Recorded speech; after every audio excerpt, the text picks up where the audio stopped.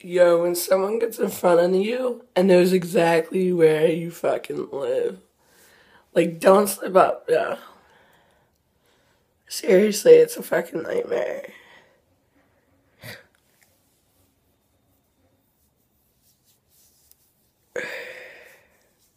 Like, sometimes I get scared to leave my house, man. Like, legit.